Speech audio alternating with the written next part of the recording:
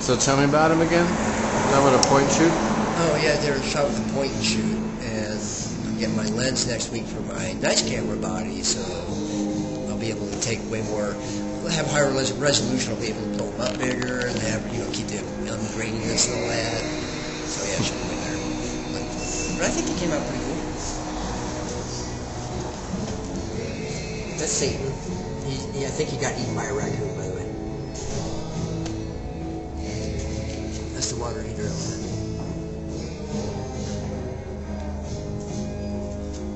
That's a demon's face. And that's a cool. In my backyard. That's what you see. What you see is what you get.